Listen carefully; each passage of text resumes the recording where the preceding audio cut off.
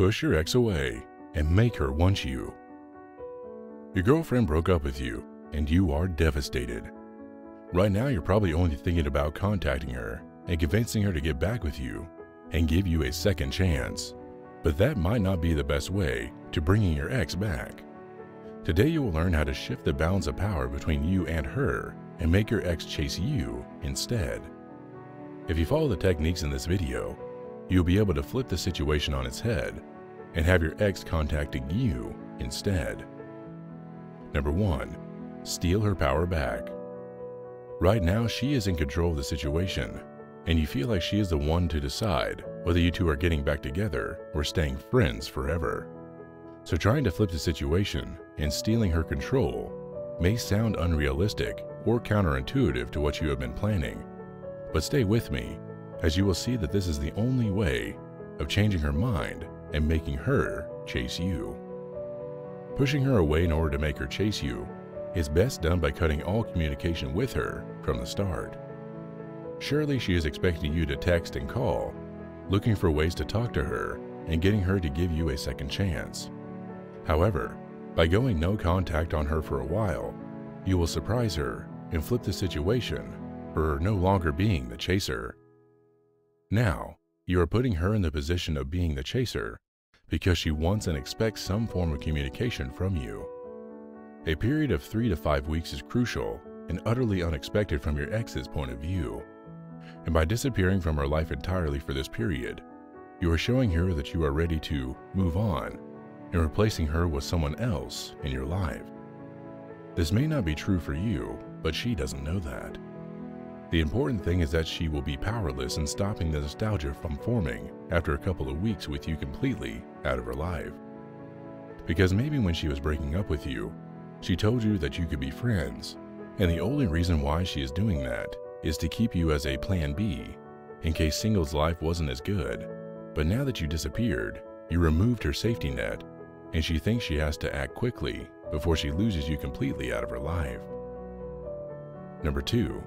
Be calm and persistent. So now that you have sent the message that you won't be just waiting around for her to decide whether she wants you back or not, it's time for the next step.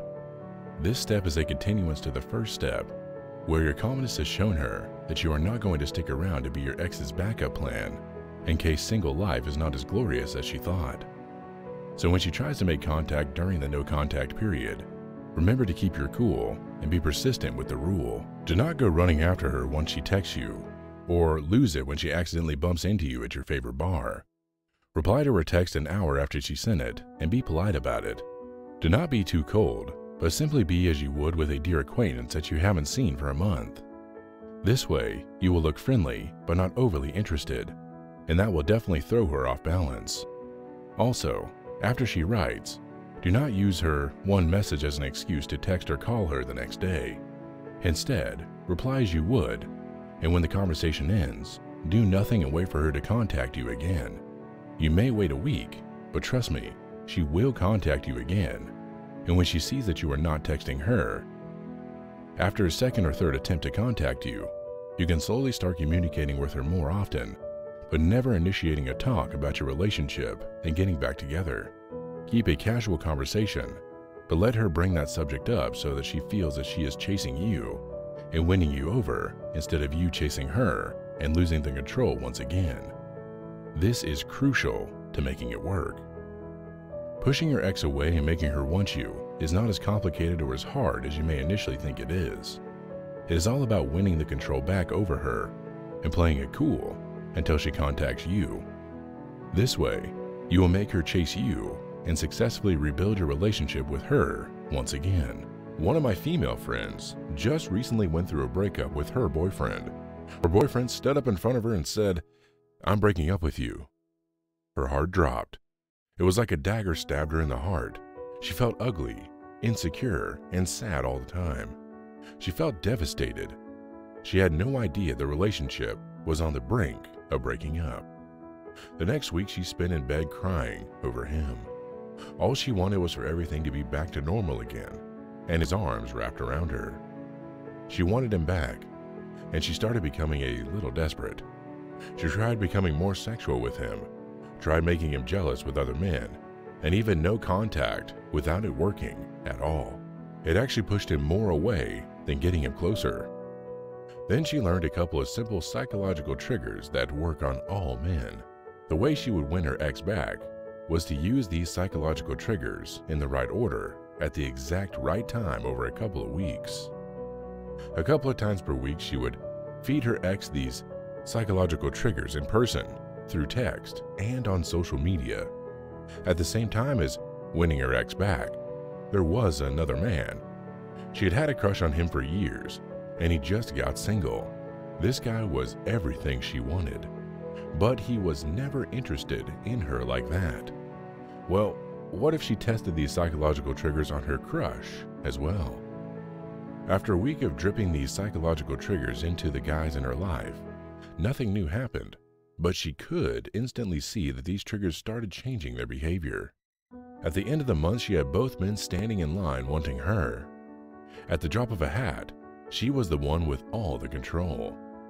She had finally gained her power back, felt more confident, strong, sexy, and in control than ever before. Now she knew exactly how she could get men to chase her, and she would use these psychological triggers to build a stronger and better relationship than before because she didn't know what men actually secretly wanted. I don't know whether you want to learn these simple psychological triggers or not, if you want to learn what they are, you might want to click the link in the description now. You don't need to click the link in the description now.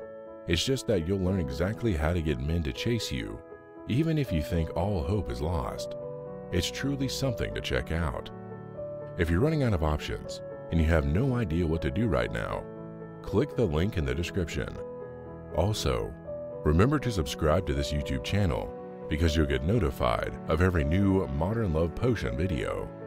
If you're having troubles with love and men, you should watch our three best videos by tapping the screen now. They might solve your love problems instantly, kind of like drinking a modern love potion that will make him fall at your feet. Thanks for watching, and I'll see you in the next video.